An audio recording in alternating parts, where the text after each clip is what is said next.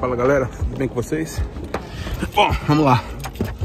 Acabei de fazer um meu período de corrida e é, eu quero compartilhar com vocês.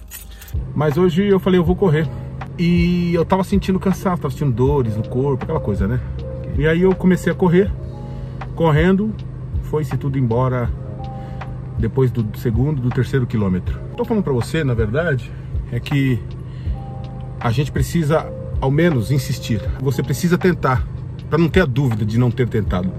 Ali Pedro, pescador, junto com alguns estavam pescando e não tinham pescado nada. E quando Jesus chega, Jesus fala assim: continua e vai agora desse lado aqui, joga ao, ao meu, a minha ordem. E eles conseguem pescar. Muitas batalhas são travadas na mente. E Jesus nos convida a ouvir a voz dele e a insistir na voz dele e a acreditar que no comando dele a gente consegue. Eu tinha todas as prerrogativas, eu tinha todos os motivos para não fazer esse exercício hoje, porque eu tenho vários compromissos. Todo dia eu vou ter algum compromisso, todo dia eu vou ter alguma dificuldade que, com muita justa causa, vai poder me impedir de completar o meu exercício do dia. Qual o seu desafio pessoal hoje?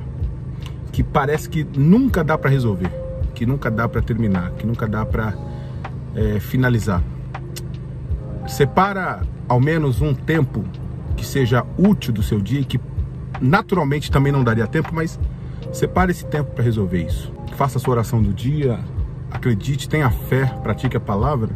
Minha palavra esse mês de junho sempre vai ser, todos os vídeos que eu gravei esse mês foi sobre a gente persistir, permanecer, não parar. Se você olhar os meus vídeos anteriores, todos são relacionados a isso. Então, termino minha palavra aqui para você dizendo: insista, nós precisamos permanecer na fé e no nosso chamado. Deus abençoe.